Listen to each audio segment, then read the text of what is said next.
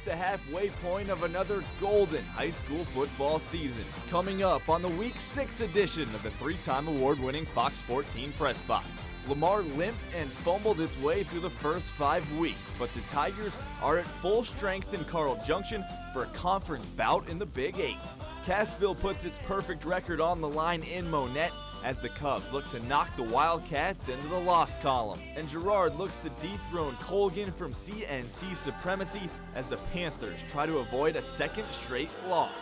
You're locked into the four states only 30 minute high school football highlight show. So grab a snack, find a seat, because the Fox 14 Press Box starts right now.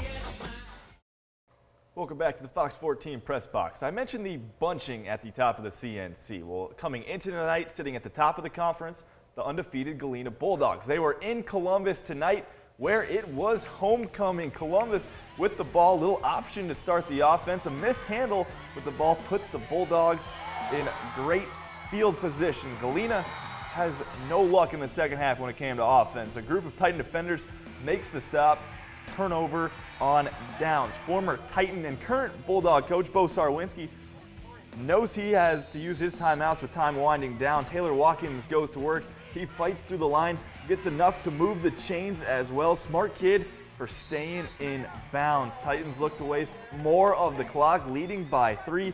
Jace McDowell seals the game for the Titans. The Galena loses his first game of the year, 19 to 16. Southeast pays a visit to Oswego this evening. Josh Thompson, he's going to decide to go deep here. Check out the interception, though, by Bryce Anderson.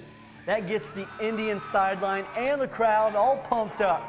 Josh Thompson and the Lancers, they do get the ball back. Thompson rolls out to his right. Daniel Peak, he comes up with the catch right before it hits the ground.